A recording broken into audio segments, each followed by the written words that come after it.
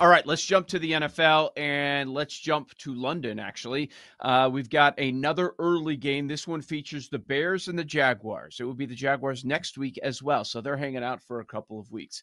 Uh, some were taking note that there were travel issues, but it doesn't sound like it was too bad. And it's still a routine for Jacksonville. They know exactly what to do when they get there. They're not going to be confused. Been there, done that. I wouldn't give them home field but they should have more support because there's a bit of a base there as far as Jacksonville Jaguars fans. The Jags got bet yesterday. So this got up to two and a half. The Bears favored on this quote neutral field, and then it came down. We're now at one and a half with a total of 44 and the hook. Jacksonville coming off their first win of the season. Uh, their backup running back, maybe he should be the starter. Maybe that will be the switch there. Tank Bigsby terrific last week. And a lot of the chatter about the injury report is it, there's been some bad news on the Bears side, but on the Jacksonville Jaguars side, I guess we'll find out today about Tyson Campbell because that is potentially a big return in that secondary for them. Uh, the Bears are, you know, the hot team. Their offense is getting better. The rookie quarterback improving from week to week. But you know what? He had to improve because if he didn't against two of the worst defenses in the NFL, with the Panthers and the Rams, like people were going to be coming out and just smoking them, and they they would have certainly deserved it. Bears have a great defense. I'd say it's a work in progress on offense, and the Bears are the favorite here. A lot of the speculation, Sam, something we've been talking about for a couple of years. For some reason, Doug Pederson would never say who's calling the plays. Is it himself or Press Taylor. It's probably going back and forth, but there is a lot of speculation. You're watching the sideline last week that it was Doug with his butt on the line when they were winless last week calling the plays, and it was an offensive explosion, 8.7 yards per play. What are you doing here? I like Jacksonville in the game. And I think one of the big losses for the Bears in this game is its safety. You know, safety play is sort of it's I don't want to say it's more important than it's been, but these great teams in the NFL mostly have good play at safety.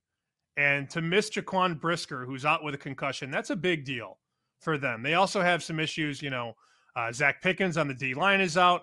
Their uh, their nickel guy Tyrique Stevenson, he's going to be out. It looks like he's doubtful. So you're starting to see some guys on that defense show up on the injury report. I think Brisker's a huge loss because he is so good at getting into the box and negating the run. So you take him out, it changes their second level of their defense. It's not like they can't beat Jacksonville without Brisker, but it's certainly a loss. Um, I actually, you know, it's funny to even say this out loud. In terms of a power rating, I have Jacksonville higher than Chicago. It is what it is. Okay. And I'm sure a lot of people are in that same ballpark as me. So when Chicago gets to two, two and a half, you're thinking, okay, is this just recency bias or is this a, a really good feel on the ratings. I I think it's more of the recency bias, to be honest, because the Bears have have looked better. Caleb just played his best game of the season, but then you look at who they played: the Rams, who are dead, and the Panthers, who have been dead for how long? You know, years in this league. This is a step up in competition, whether people want to realize it or not. And you can't just look at Jacksonville's win loss record you you can't. You you look at what they are as a team and what their potential is. And look, Jacksonville could have beat Houston. Jacksonville was up on Houston. The Bears never really had a chance against Houston. Yeah, they had the ball late, but you knew they weren't going to come back and beat Houston. Jacksonville right. dominated Houston for two, three quarters. And then Houston rallies back and wins that game. So they do have a common opponent. Jacksonville was better than Chicago was. And Jacksonville's also made this trip as an organization they know the ins and outs of London. They've made this trip several times. So I I just I don't think the Bears should be favored in London. I don't. It's not to say that they can't win because obviously it's a coin flip game. Um, I think the Jacksonville teaser pieces are good too, from plus one and a half to plus seven and a half. I don't think Chicago is going to win this game. I don't. I could be wrong. I'm wrong all the time, but I am I am not going to be betting the Bears on uh, Sunday morning in London in that bad record for Jacksonville, we are talking about a field goal loss to Miami in Miami to start the season. They somehow lost to the Browns. And now you look at it, you're like, whoa, that looks bad. But you're right. Man, did they fight against the Texans. They probably should have won that game. and that was uh, got to have it spot. And as far as the Bears, they've played very well at home, very well at home. And now you throw something at them that they have not dealt with before. And Caleb Williams, I'll call it a road game. He hasn't won a road game yet, even though the Bears, they're calling them the, the home team in this game. That doesn't matter, of course. So let me see it.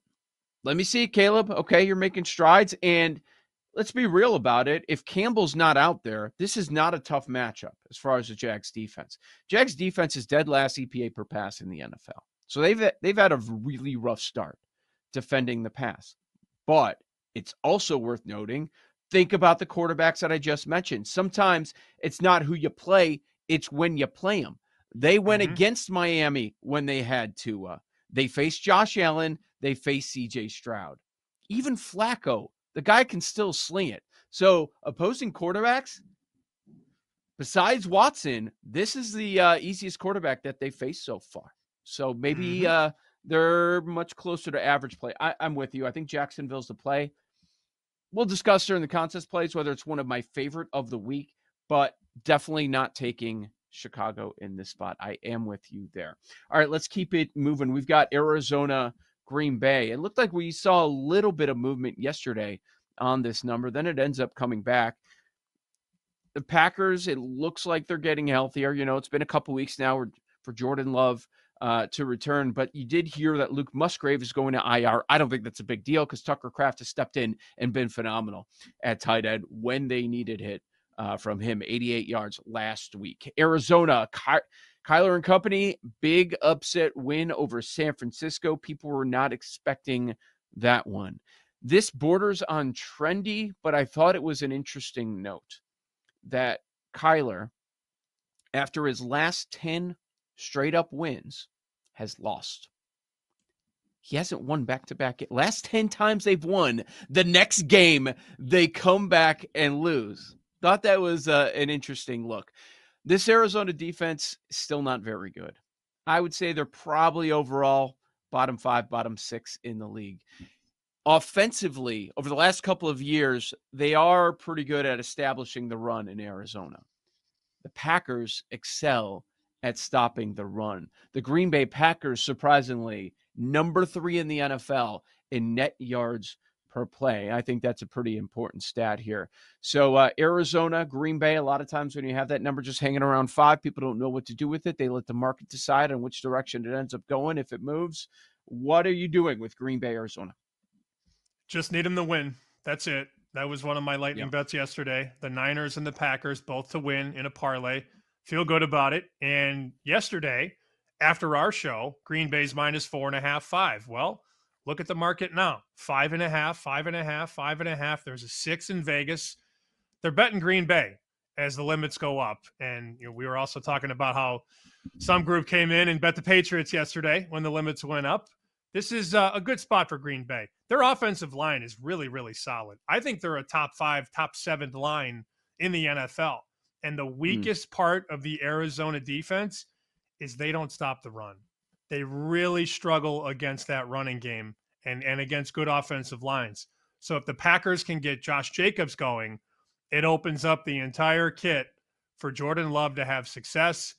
This is probably the best spot of the season for the Packers. And combine that with the fact that you have an outdoor team or an indoor team rather in Arizona going outdoors in the 50 degree Lambeau with the wind, it's just it's a tough spot for Arizona. I'm not going to tell you to lay five and a half when you could have laid four and a half yesterday.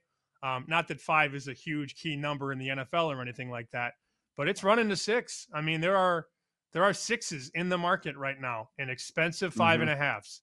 Um, if you have a contest play and you could lay four, four and a half, you might want to do that because you have some CLV. I am uh, I'm nervous for Arizona here, and I just I just need the Packers to win. Win by three, win by eight. They're all the same to me. For what it's worth, uh, Green Bay's offensive line ranked third best by PFF, only behind wow. Indianapolis and Detroit. Number 3 mm-hmm. uh, best offensive line as far as that goes. I'm with you.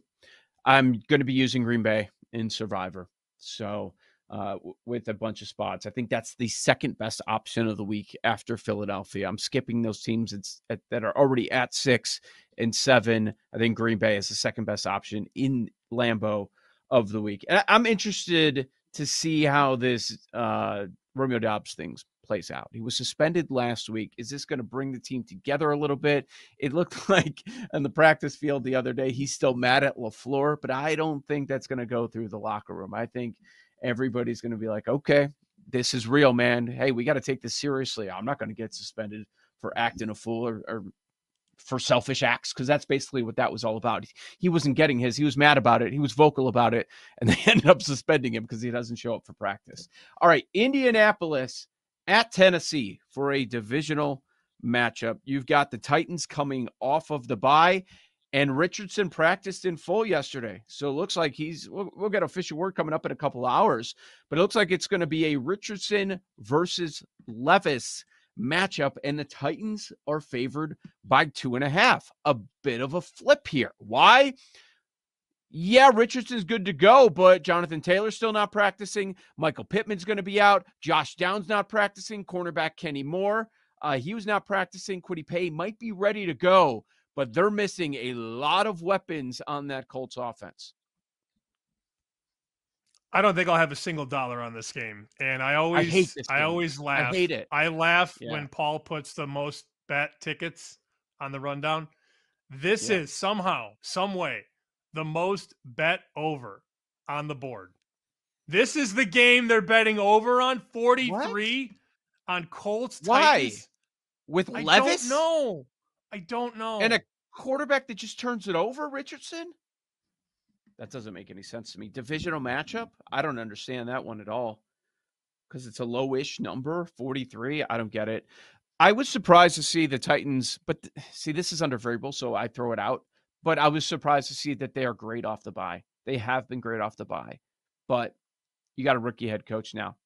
They're going to be as strong. They are, they were 8 0 in 1 off the bye. That is a hell of a run. That's like Andy Reid level stuff.